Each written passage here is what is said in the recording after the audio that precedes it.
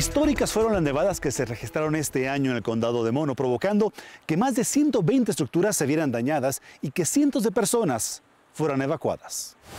Después de una serie de históricas tormentas que afectaron al condado de Mono, la Oficina de Servicios de Emergencia del gobernador ha trabajado en las labores de respuesta y recuperación para apoyar a todos los afectados. OES that stepped in and brought us resources and OIS se hizo presente con recursos como leña, gas propano, comida y agua.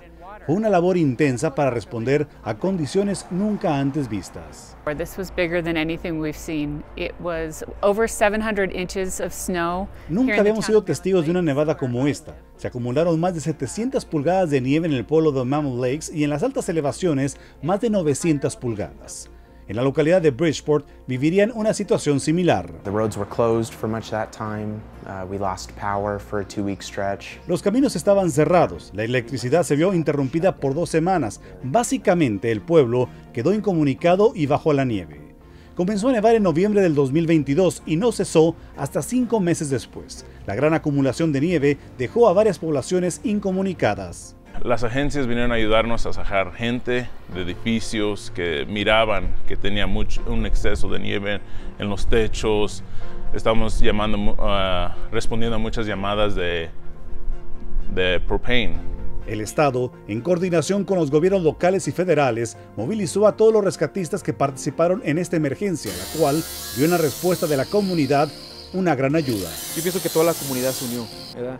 Se unió y yo pienso que hispano, no hispano, de otras razas, de, otros, de otras uh, culturas, pudieron ver en la emergencia que estábamos y todos pudieron responder uh, conforme les pedíamos. Ahora, el proceso de recuperación ha iniciado. Los afectados, residentes y propietarios de negocios como Miguel Herrera, trabajan ya en la reconstrucción de los hogares y negocios, recibiendo valiosa ayuda en estos centros de recuperación, como el trámite de la ayuda económica disponible y la obtención de documentos perdidos durante la tormenta. Lleva tiempo, pero, pero ha sido simple realmente.